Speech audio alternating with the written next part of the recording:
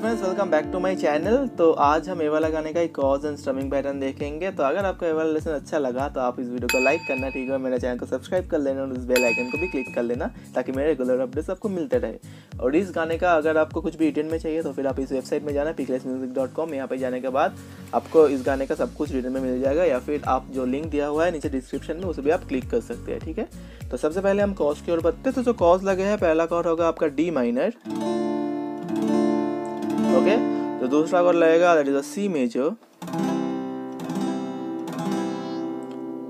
जो तीसरा कॉर्ड लगेगा that is a F major आप एफ़ मेजर ऐसे फुल बार में प्ले कर सकते हो, या फिर आप हाफ़ बार में भी प्ले कर सकते हो लाइक दिस या फिर आप ए वाला वर्जन भी प्ले कर सकते हो, देखो. इजी वाला वर्जन और जो अगला कॉर्ड लगेगा that is a A sharp major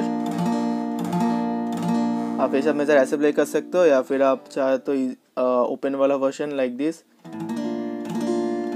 ऐसे भी आप प्ले कर सकते हो, ठीक है? आपका ए शार्प मेजर कॉर्ड और जो लास्ट कॉर्ड लगेगा, थोड़ा सा पार्ट में यूज़ हुआ है that is a A minor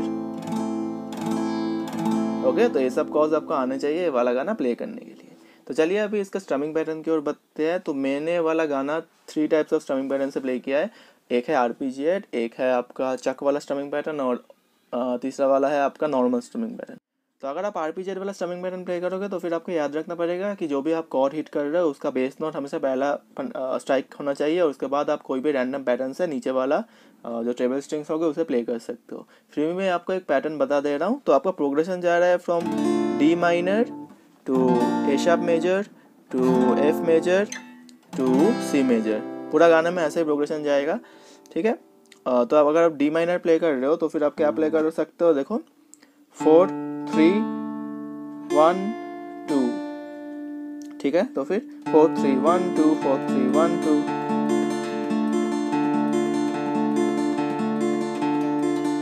ठीक है? फिर आप ए शार्प में जाओगे you can play five four two five four two three five four two three ठीक है? उसके बाद आप एफ़ मेजर अगर फुल बार में प्ले कर रहे हो you can play six four two three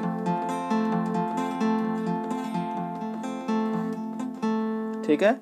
अगर आप हाफ़ बार में प्ले कर रहे हो you can play four three two three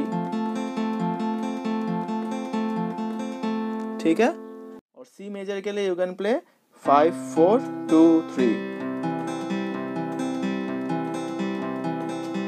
ठीक है? ऐसे आप आरबीजेट कर सकते हो। अगर आप चक वाला स्टमिंग पैटर्न प्ले करना चाहते हो तो फिर वो वाला कैसे जाएगा देख लो।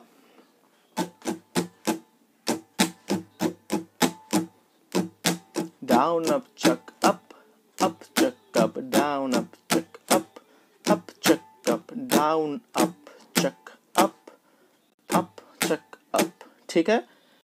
और अगर आप नॉर्मल स्टमिंग पैटर्न प्ले करना चाहते हो you can play this strumming pattern